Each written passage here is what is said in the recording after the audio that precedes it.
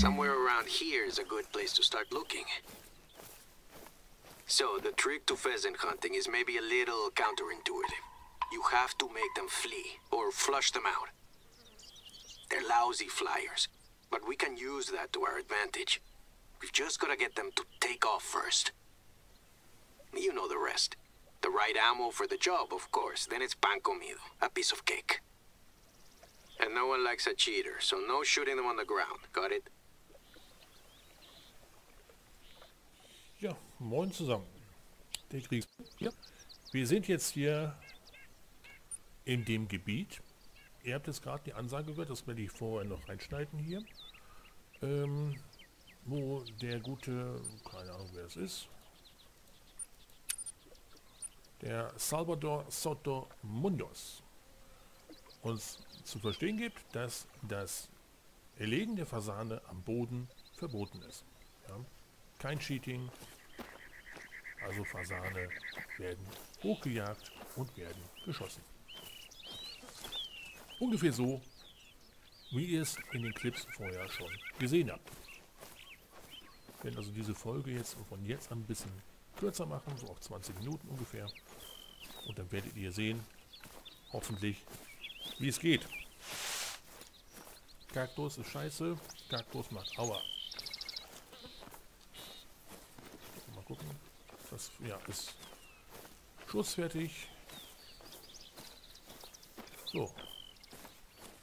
Und dann wollen wir doch mal schauen, ob wir nicht eventuell doch ein paar Fasane kriegen.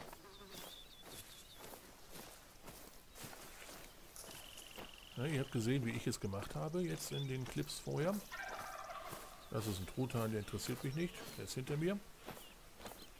Ich muss also jetzt einen Fasan oder Fasane versuchen zu finden. Ich schleiche mich dann ran. Ob jetzt in der Hocke, äh, also hockend oder schleichend oder am kriechend am Boden, ist dabei jetzt erstmal nebensächlich, also heranschleichen, dann heranstürmen und dann hoffentlich die Viecher hochjagen.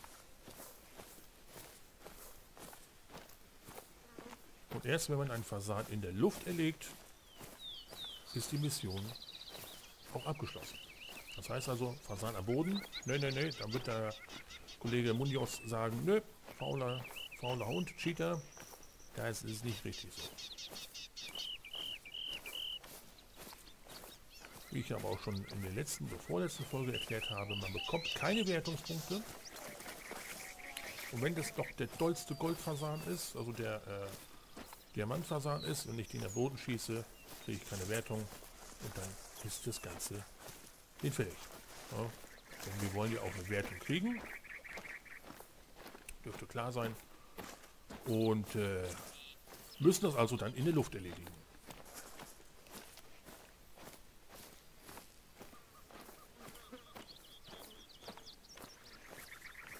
Ich will jetzt mal hier raus aus diesem Kakteenwald. Ähm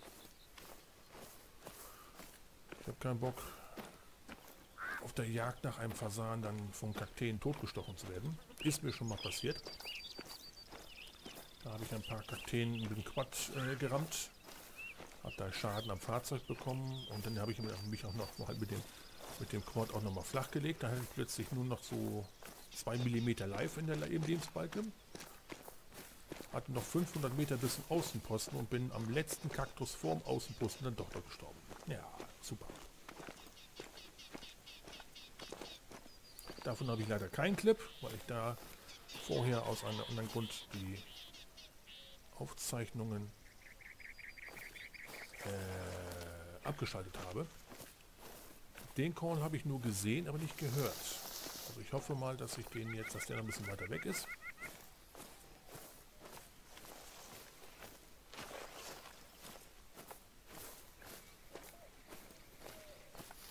Wir werden sehen.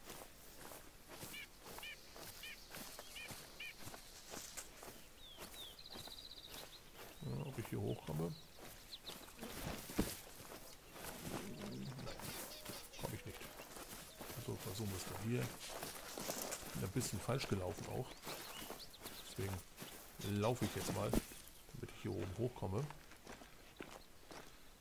Denn hier oben sollte ein bisschen mehr ähm,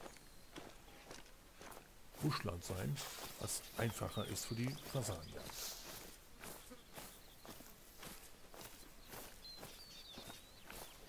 So, und ich meine, ich mit meinem Hauptaccount da oben auf der Ebene war und dort bessere Jagdverhältnisse gehabt habe. Ich bin denn nicht von dieser falschen Ecke her hier an dieses Jagdgebiet rangegangen.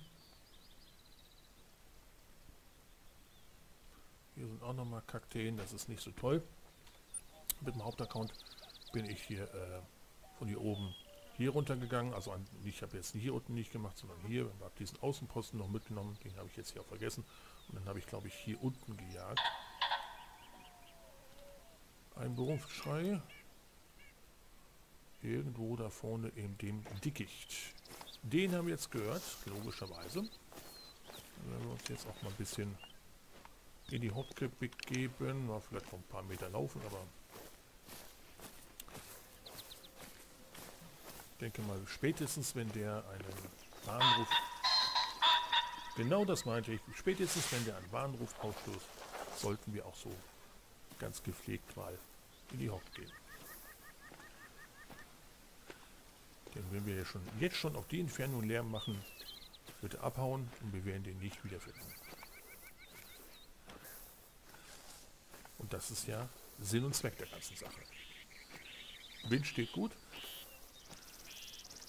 Müssen wir also gucken, dass wir das Tierchen auch nochmal zu Gesicht bekommen. Ja, nicht zu weit über die Kuppe rüber. Nur so gerade eben. In der Hoffnung, den Burschen oder die Dame zu Gesicht zu bekommen. Derzeit nicht der Fall. Das war auch nicht anders zu erwarten, weil es eben halt sehr dicht, dichtes Dickicht ist hier.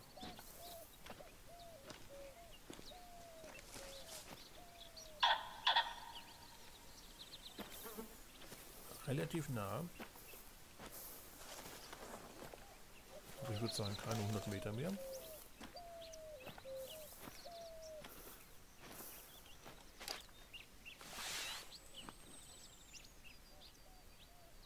Diese blöden Partikel, die hier rumfliegen, die irritieren mich jedes Mal. Diese, ich sehe die Bewegung und denke immer, hm, da ist was. Aber dann ist da doch nichts. grob aus der Ecke kam was.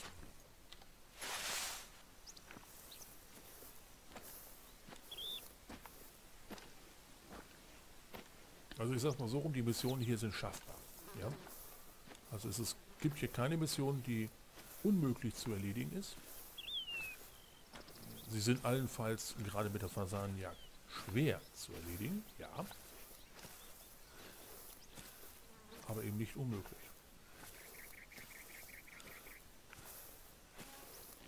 Ja, ihr habt es in den Clip vorher schon gesehen. Man kann Fasan auch recht gut aufspüren. Gerade auf dem Futtergebiet sind die sehr schwer wegzukriegen beziehungsweise hochzukriegen. Ja, noch näher konnte ich an die Fasan nicht rankommen als wie in dem Clip. So, dachte eigentlich, dass er hier irgendwo wäre, aber ich habe hier noch nicht mal Spuren. Wenn man vom Teufel spricht, da sind Spuren. Die gehen in diese Richtung. Tierruf, Brunftschrei.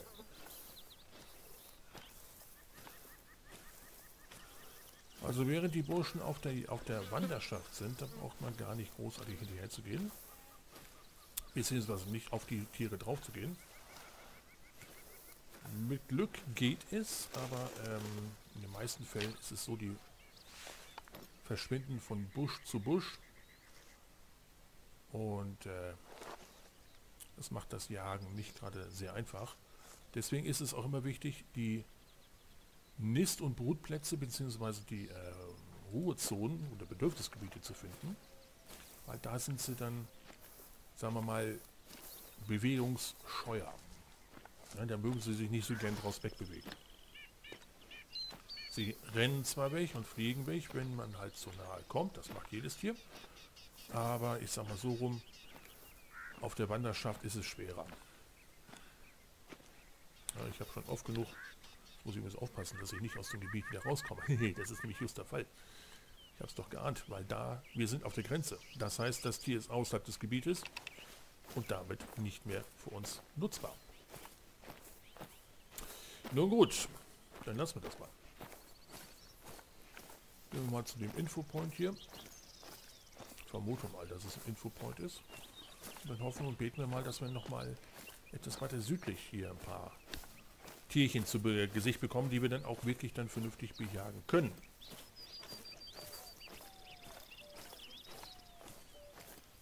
Weil da, was da oben ist, das ist außerhalb der Karte, das zählt. Bingo. Ein Warenwurf. Der hat uns aber jetzt gewittert. Ne, das ist jetzt das Problem. Der hat gerochen. Oh, Grigol kommt, beziehungsweise Tredodal. Dann müssen wir gleich mal sagen, dass wir nichts davon halten, dass der Kerl hier sich hier rumtreibt. Das hat der Fasan hiermit gemacht. Ich weiß leider nicht, wo er ist.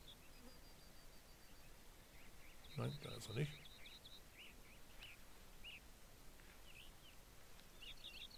Ich höre auch nichts.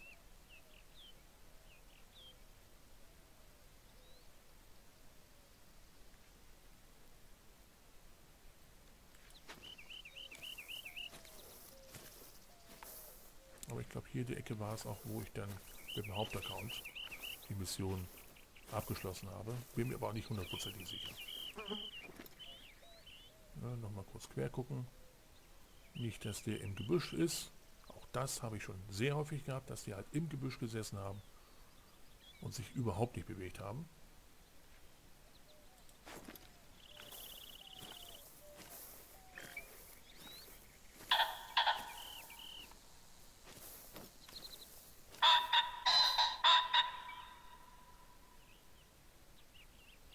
Der wittert uns wieder. Das ist also keine Sichtverbindung hier. Uns der Fasan sehen könnte. Er riecht uns, er wittert uns. Ich könnte jetzt mal mit dem Geruchsspray arbeiten, aber ich das äh, mache ich erstens ungern, zweitens habe ich mir das Gefühl, das Ding wirkt nicht. Steht zwar, dauert 30, äh, wirkt für 30 Minuten oder so ein Zeug. Ähm, es mag, als das Spiel rausgekommen ist, 2018, äh, noch gewirkt haben, ja, aber ich glaube, das wird, wird jetzt mittlerweile so ziemlich kaputt gepatcht.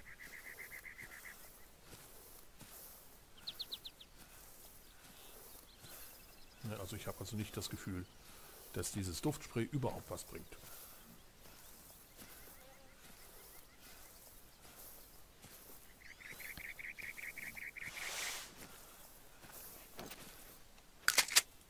Wieder Schuss fertig gemacht. Ne, also Patrone ist ausgeworfen worden, ohne dass die Patrone ausgeworfen wurde. Ja, hier haben wir da auch die mal Fußspuren. Gehend.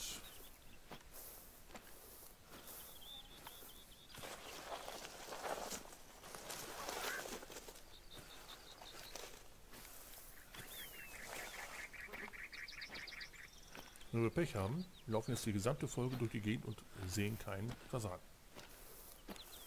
alles machbar. Ja, es ist halt doch in diese Richtung wieder gewatscht.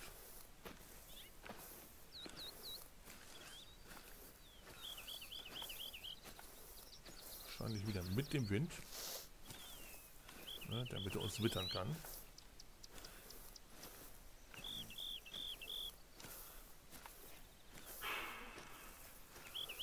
Der interessiert uns nicht.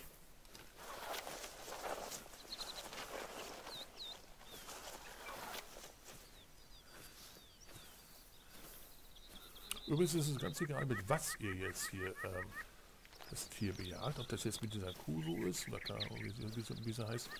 Oder ob ihr dann halt äh, mit, was weiß ich hier, mit der Pistole macht. Habe ich irgendwie Vogelschrot drin? Habe ich, nee, ich habe ho, ho, ho. Kaliber 410 Vogelschrot. Ne, ihr könnt auch mit der Viran Klassiker den belegen, äh, bejagen, solange der in der Luft war. Da jetzt schon wieder da so einen Kehrschwung gemacht hat. So einen Umkehrschwung, so ein wie umgedreht ist und wir auch nichts von ihm hören, hören.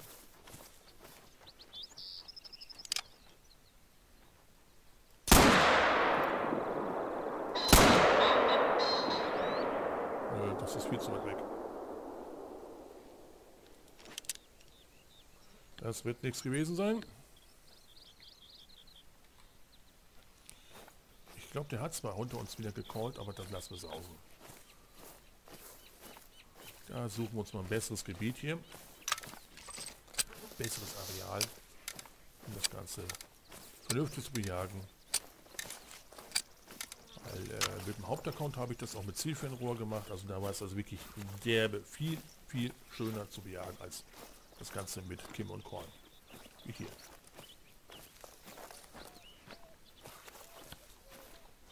Und wir nehmen auch da wieder mal die Waffe hier. Ne, also immer wenn wir die Waffe gewechselt haben und wieder auf diese Kuruso gewechselt haben, eben kurz ansetzen, R drücken, jetzt funktioniert es natürlich gerade nicht und die Waffe wieder schussfertig machen. Also den Sicherungsbügel wieder auf Einzelfeuer stellen.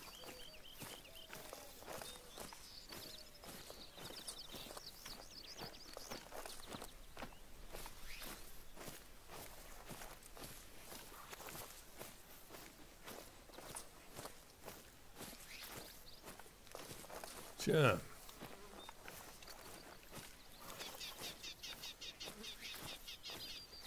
Schöne Gegend. Bisschen karg, ja, aber trotzdem irgendwie nicht ganz so schlecht. Ja, das ist doch wieder nur Gebüsch, habe ich mir schon gedacht.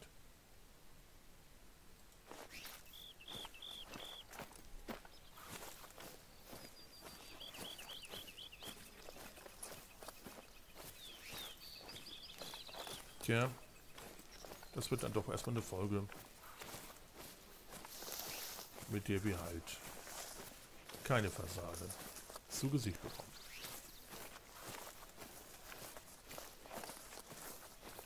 Ist auch nicht ganz so schlimm. Ne, ich werde es dann auch so machen, dass ich halt äh,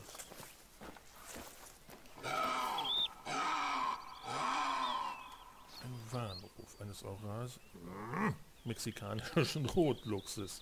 Alter Schwede, ich werde das nie kapieren. Ich werde das nie auf die Reihe kriegen, dass ich da nicht... dass wir hier keinen eurasischen Luchs haben in Mexiko. So.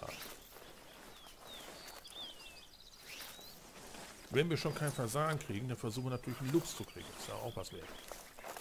Müssen wir nur eben... Na,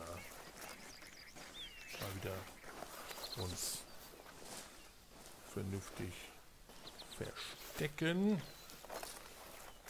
Also das, das, Spiel ist anscheinend nie ausgelegt, dafür ausgelegt gewesen, dass man die ganze Zeit hier schleichend durch die Gegend kommt. So, Kaliber 45 Gold.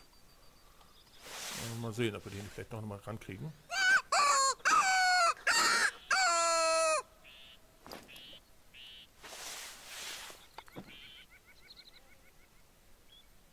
denke mal nicht, dass ich den jetzt durch das Gebüsch hier schon sehen können würde.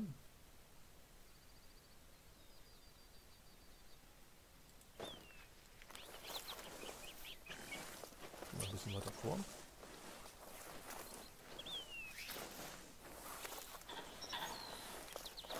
Ja, der ist aber da unten irgendwo. Okay. Wenn wir in der nächsten Folge machen. Beziehungsweise ich klipp das Ganze natürlich nur, ja, dass es ein bisschen einfacher ist. Und äh,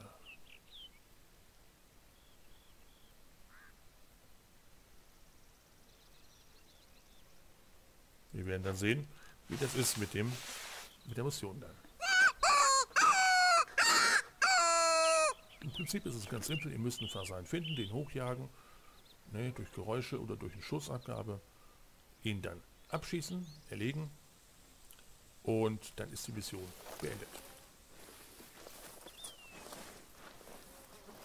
Das wird ein bisschen zeitintensiv werden. Es kann sein, dass sie das gleich beim ersten Mal schafft. Es kann auch sein, dass sie erst mit drei Stunden durch die Gegend latscht, keinen Fasan findet ne?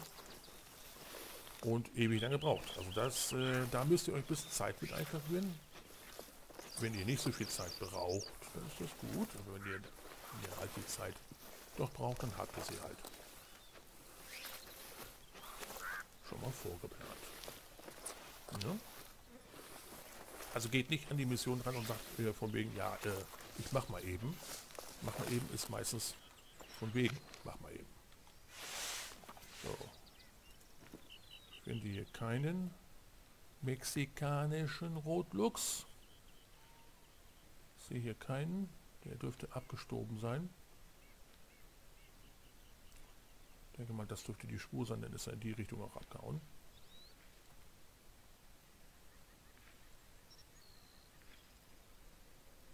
Die Bewegung, die ich jetzt gerade so gehört habe, die mache ich selber, weil ich hier in so einem Busch drin stehe. Ich mache also auch Bewegung durch das Drehen. Darf man sich nicht von irritieren lassen. Gut, 20 Minuten sind rum, ich habe es mir gedacht. Deswegen, wir machen hier Schluss. Ich baue die Clips noch vorher mit ein oder habe die Clips vorher mit eingebaut. Den machen wir hier finito. Wir sehen uns dann in der nächsten Folge. Ich wünsche euch was. Bis zum nächsten Mal. Haut rein und allzeit man Zeit. Bis dann. So, ein paar Minuten nach der richtigen Aufnahme ist jetzt da dieser kleine Clip da entstanden. Und ihr seht es, dort hinten ist ein Fasan. Ja? Knappe 46 Meter, wenn ich das gerade so erkennen kann in der Videonachbearbeitung. Ähm, das, was ich jetzt hier mache, ist nicht zufällig entstanden. Ja, das ist ähm, eine Sache, die ich in den letzten Tagen mehrfach probiert habe. Das habt ihr noch nicht gesehen, weil ich das noch nicht verarbeitet habe, die einzelnen Clips, wie ich dann darauf gekommen bin, so vorzugehen äh, und nicht einfach äh, quer durch die Gegend zu, äh, zu latschen oder zu wandern und zu gucken, bis irgendwann zufällig mal ein Fasan hochstimmt. Ja? Ähm, das, was ich jetzt mache, ist wirklich bewusst so. Das ist äh, bewusst aus, ausprobiert, mehrfach erfolgreich gemacht, auch genauso oft oder teilweise noch öfter nicht erfolgreich, aber das ist hier mal eine erfolgreiche Aufnahme. Und äh, das, was ich jetzt hier gleich mache, das ist wirklich so geplant. Jetzt guck mal hin, was ich jetzt mache. Wer meinen Kanal hier kennt, weiß ganz genau, der Grigol ist einer, der im Spiel hier nicht rennt. Ja, ich mag das nicht. Hier in dieser Situation und bei der Fasanenjagd ist das aber notwendig. So habe ich das zumindest in den letzten Tagen festgestellt. Ich renne also jetzt hinter diesem Fasan her, der ja auch rennt. Jetzt wendet er. Ich kann mir das eigentlich fast schon greifen und warte, bis er hochgeht. Das macht er jetzt.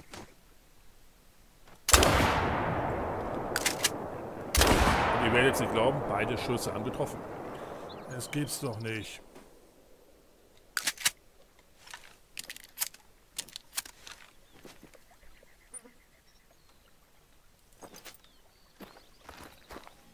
Oder habe ich jetzt doch einen erwischt? Ich habe jetzt auf einmal Jagddruck hier. Ja, Blutspritzer. Na also. Die Frage, wo ist das Viech hin?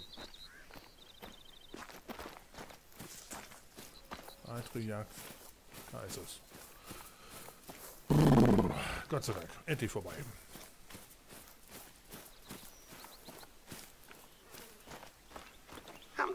teacher, no?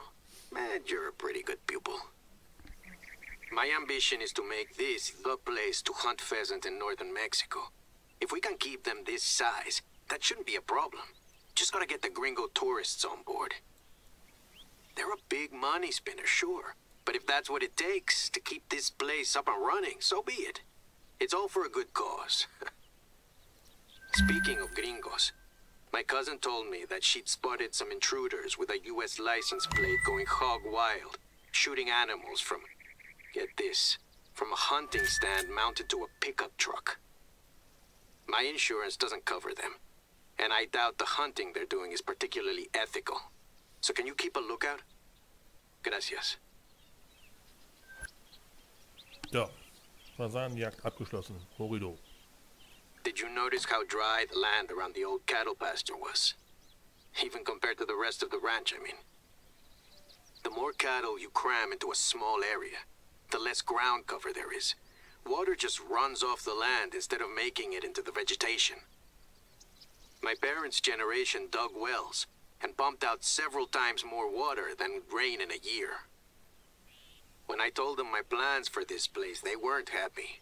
Said I was selling out my inheritance. We haven't spoken much since. Of course, there are plenty of rancheros out here who graze their cattle responsibly. I just want to go in a different direction. I've tried explaining what they gain from it. they just wish me luck. But I've heard what they say behind my back. Chavita fresita. It's like, uh... They're basically calling me a, a snob. they went to college in Mexico City, same as me. I just stayed a while after I graduated. Worked overseeing protected natural areas for CONANP. But back to business. Luckily for us, there's an easy solution to the groundwater problem. It just requires some more muscle on your part. I need you to set up a few gabions. They're wire mesh baskets you fill with rocks and place along the banks of the arroyo to accumulate silt, which holds the water like a sponge so it can trickle back into the ground. Uh, the winter rains aren't as predictable as they used to be, so the sooner the better.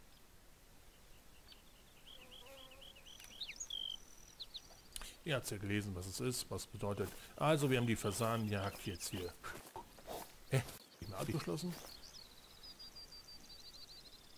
Hä?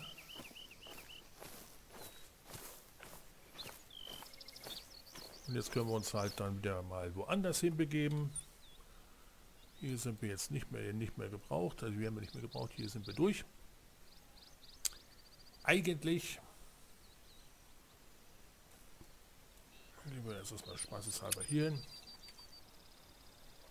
Denn das dürfte da oben ein Außenposten sein. Den hole ich mir jetzt noch und dann geht es dann da oben weiter in die andere Richtung. Dann geht es dann hier oben in den Norden der Karte, glaube ich, ist das. Ne, es geht hier hin. Ganz genau. Auch hier sind, glaube ich, Außenposten. Ich bin mir nicht so hundertprozentig sicher, was das ist. Äh, das wird ja komisch sein, wenn hier drei verschiedene Außenposten in der gleichen Ecke sind. Ich vermute, dass da einer ist und hier einer, aber was das ist, weiß ich beim besten Willen nicht. Werden wir sehen in den nächsten Folgen. Ich gehe jetzt aber erst einmal, wie gesagt, hier oben hin und hole mir diesen Posten. Ich denke mal, dann werde ich mich hier rum durcharbeiten. Dahin. Ne? Also, bis zum nächsten Mal. Auch rein.